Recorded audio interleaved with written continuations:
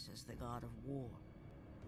The bloodshed, the relentless battles, had finally brought him here. Ares was dead, and though Olympus beckoned, visions of his mortal existence still haunted him.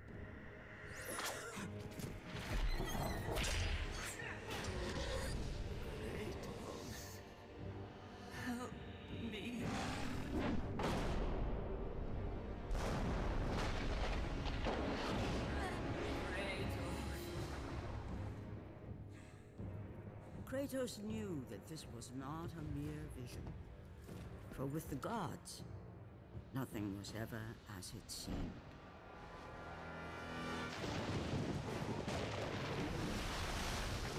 The vision of his past set Kratos in search of answers. Answers that lay in the Temple of Poseidon, deep within the city of Atlantis.